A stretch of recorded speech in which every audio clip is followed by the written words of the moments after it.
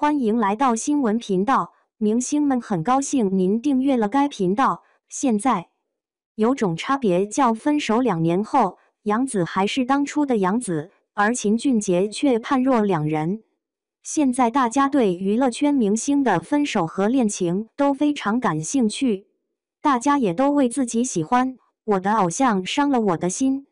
杨紫应该是大家最熟悉的艺人，出道的杨紫作为童星。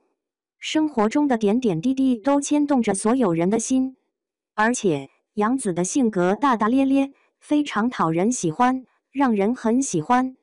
她总能把合作的演员当兄弟，这让不少网友担心这样的杨紫会找不到男朋友。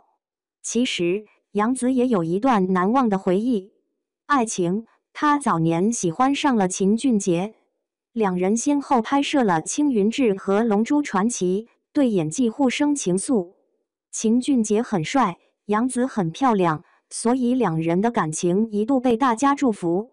但最后还是两个人人没走到一起，两人分手已经两年了。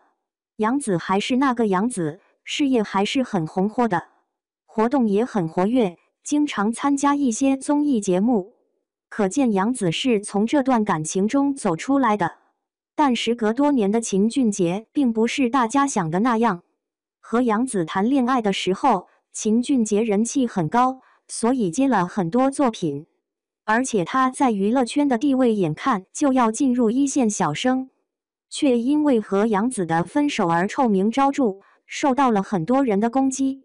再加上胡辣汤事件，让秦俊杰的口碑一落千丈，分手后就没有以前那么爱笑了。而在节目中和姐姐聊天的时候，总是会说到自己的压力和痛苦，会哭着说自己遇到的事情。妹妹也给了他一定程度的安慰，表示愿意找秦俊杰谈谈。不过，更多网友认为这是秦俊杰自找麻烦。